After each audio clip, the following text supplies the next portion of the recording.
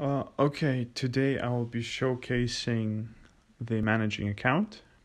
And first we have to go to the login page at teique.com slash login and enter your credentials. Confirm you're not a robot and proceed.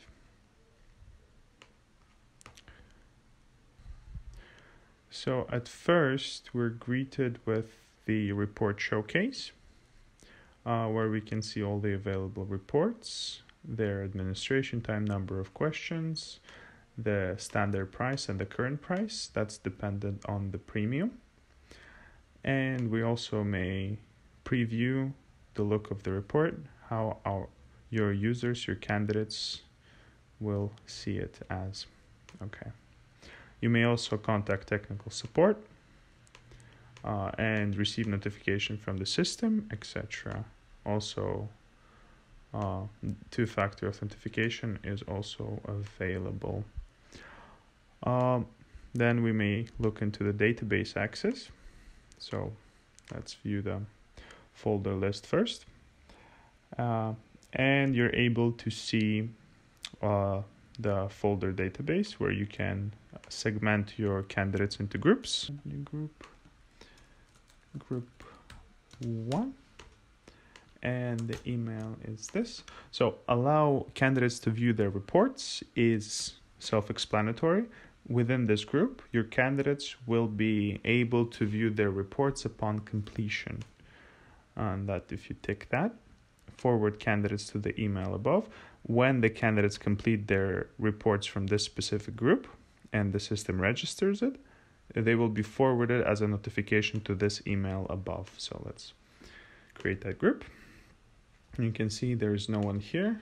Let's go to the uh, without group. That's a testing um, testing entry. I created it for the purposes of this uh, presentation. And here we have different options. So first we have the select tool, which is help, which is used to select users within the database and all the entries and manage it. Uh, so for example, yellow pending completion.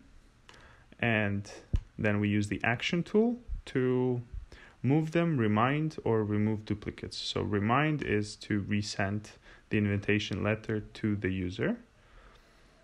Um, move is to move them around from group to group. So for example here, and they will be moved. Uh, the search tool is to help you search, so you can use uh, the search tool is to help you search so you can use it to find specific entries.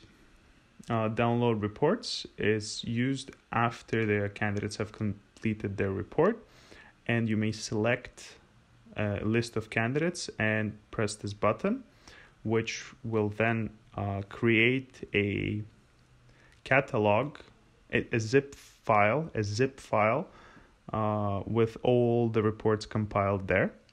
Download raw data is report information, so it breaks down all the facets into a spreadsheet format.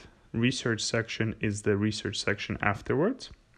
Uh, both research and reports and the email. So, for example, if you are doing reporting or need a list of emails from the database, that's the way you pull it out. Um, then we have the candidate addition tool which you have two options directly or through Excel. Uh, so you upload here the Excel file. Here is the here's the, the example you provided, and you select the group to which you download uh, uh, to which you upload the users. Uh, then the direct option, uh, which where you can set the email, the name, the surname, the group, and the report type for each user.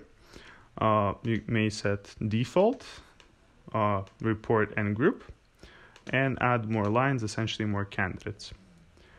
Uh, at the end, uh, when you add the candidates, uh, it calculates the total. Right now we cannot because we don't have enough credits, and you can schedule or send it right away. Let me delete uh, the entry to showcase that it's possible. Um, candidate addition tool directly. So let's go with um, support, test, and test. Okay, TEIQue, let's go. Add, send it right away. And it is sent, and we can check the database, and here it is. Invitation sent this time.